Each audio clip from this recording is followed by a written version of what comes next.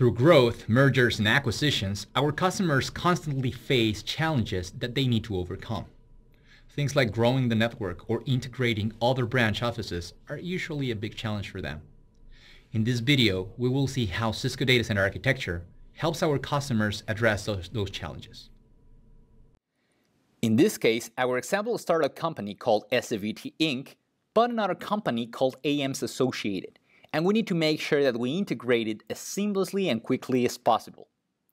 As you may have seen in the high availability video, SCVT Inc. currently runs their business on a multi-data center topology with ACI in a multi-pod fashion, and UCS-based converged systems as well as HyperFlex running multiple hypervisors and container-based workloads, which are currently being managed and provisioned from the cloud by Intersight.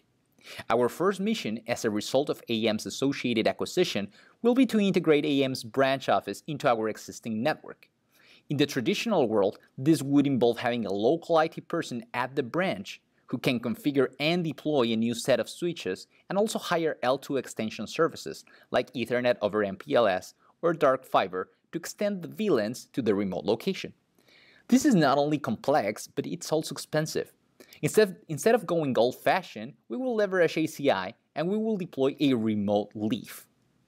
What this means is that we can just send a brand new unconfigured Nexus 9000 switch or pair of switches to the branch office. And by having plain routed connectivity over my internet or WAN link, I can add this new switch in minutes.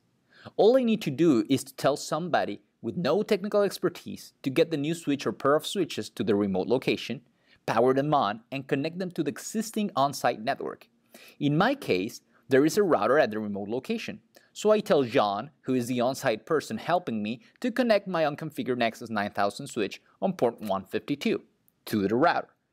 Once he powers the new Nexus 9000 remote leaf on, it will request an IP address through DHCP. This request will make it through the WAN all the way back to the main ACI site. Once the APIC gets a request and discovers the switch, the network admin should accept it as part of the ACI fabric, and in return, APIC will send an IP address so that we can now manage it centrally. Once we can manage it, we now have the ability to configure it as well. And in our case, we will configure an IP address on that 152 interface as well as OSPF so that we can have a routing protocol configured on that local link that will serve us as the underlay so that ACI can automatically build a VXLAN L2 extension to the remote location. Let's see how quick this is done in our setup. Let's first take a look at the current ACI topology to confirm it looks just as we saw in the previous slide. We can see that we have two pods already set up, one with two spines, two leaves, and two APICs for data center 1, and a second data center or pod with two spines, two leaves, one remote leaf already configured, and one APIC. If we zoom into pod 2, our goal by the end of this scenario will be to see two remote leaves connected to pod 2 through the WAN. This will be quite simple. First, we will go to the quick configuration wizard where we can see we have an option to integrate a remote leaf. We will click on it and the first step will be to specify which pod I want this remote leaf to belong to, since we may need to connect back to one of the main pods for spine functionality. This remote leaf will belong to pod 2. Therefore, I have a TEP pool of addresses APIC will use to provide a management IP address to the new remote leaf. In this case, it's going to be 192.170.0.16. Then as I click Next, I see I already have discovered a new switch that wants to join the fabric. I will accept it in my ACI fabric by specifying a name and an ID to it. In this case, it will be Remote Leaf 121. Last, I will want to configure OSPF on interface 152 for the new remote leaf. Therefore, I will tell ACI to configure an L3 out to run OSPF on area 0. I will associate a loopback and router ID address, and finally, I will specify which interface I want ACI to perform the OSPF configuration on, as well as the IP address. Once we click Finish, we will see as part of my ACI Fabric inventory that I have a new switch called Remote Leaf 121. However, it does not have an IP address assigned yet. After a few seconds, it should display the IP address APIC has assigned to it based on the TEP pool of addresses I previously selected. Once it is assigned, it will discover the switch and once it shows as active, we should be ready to configure it and monitor it centrally. We can see that now two remote leaves appear on our graphical display on ACI, and we are ready. The remote network got integrated in less than two minutes, and I did not even have to go to the branch office myself.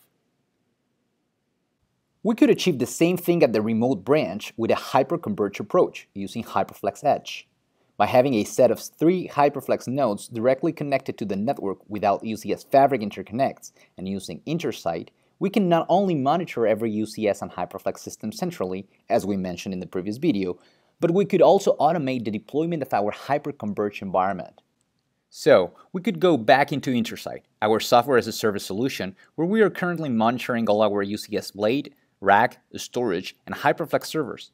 Remember SCVT Inc. has multiple data centers running, so it is important for them to have a single graphical tool that consolidates management and provisioning directly from the cloud.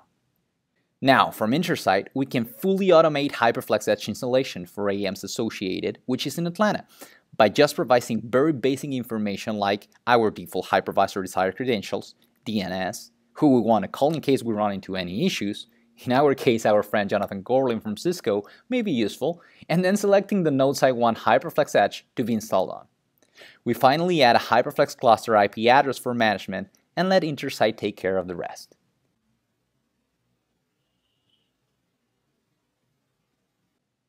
After some minutes, we have a fully functional hyper-converged cluster running in my AMS associated branch in Atlanta, which was fully configured from the cloud by Intersight, which by the way is the same compute management and provisioning platform I am currently using for the rest of my data centers.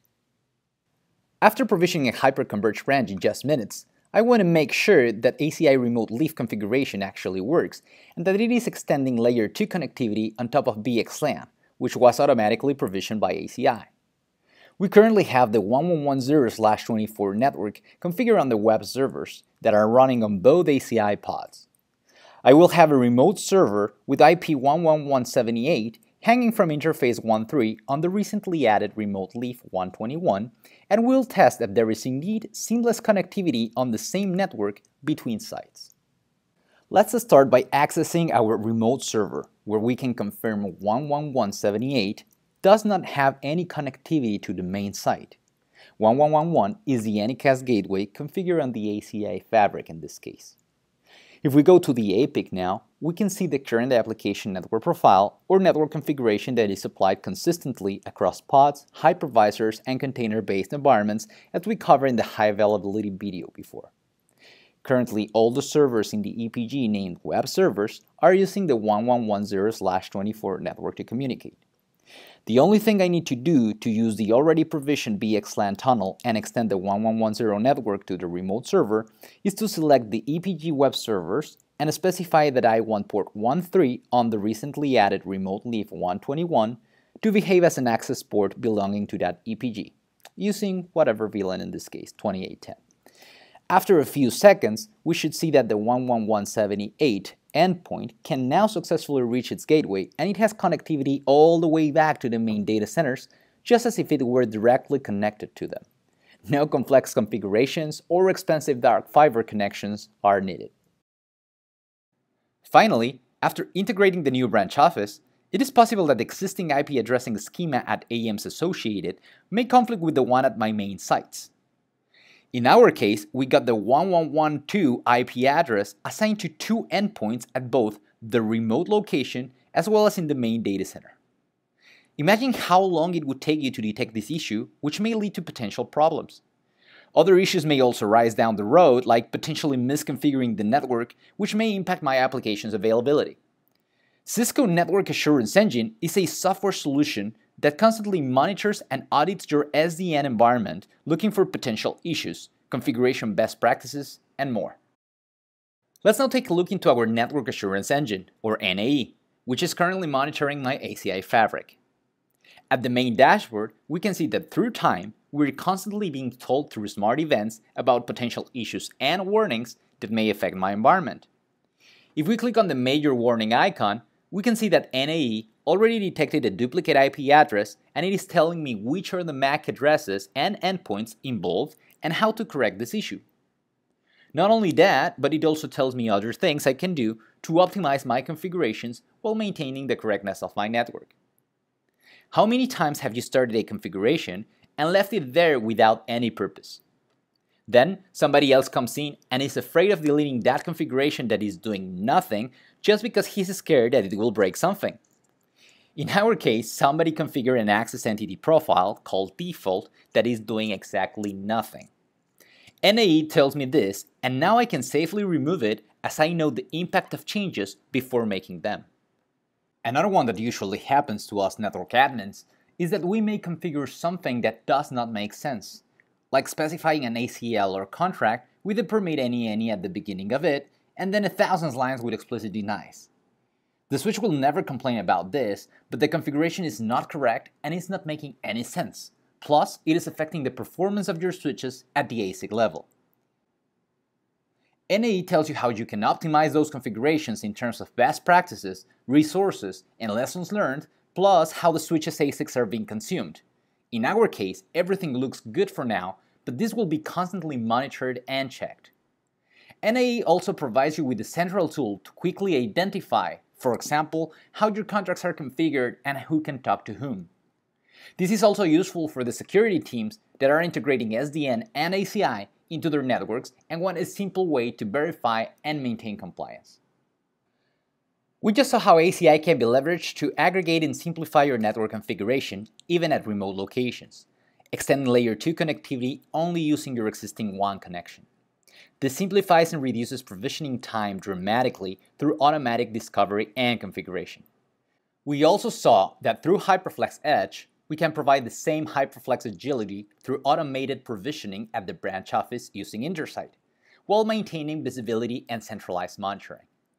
We can just connect our HyperFlex Edge nodes to our existing network, even running at 1 gig, and the rest is automatically provisioned for us from the cloud, leveraging the same tools we use for other HyperFlex and UCS installations, like Intersight, HyperFlex Connect, and HyperFlex plugin for VMware. Last, we saw how NAE can proactively analyze all policies and configurations in your data center network by just installing a software-only solution that runs on VMs with zero agents to install in less than 30 minutes. This reduces the risk in SDN configurations inserted by human errors, and it provides a way faster time to resolution for potential problems or configuration optimizations. This was just a glimpse of the power of the Cisco data center architecture. However, there's way more for you and your business to take advantage from. If you want to learn more about other potential scenarios that can help you differentiate competitively through IT, please watch the rest of the videos in this series.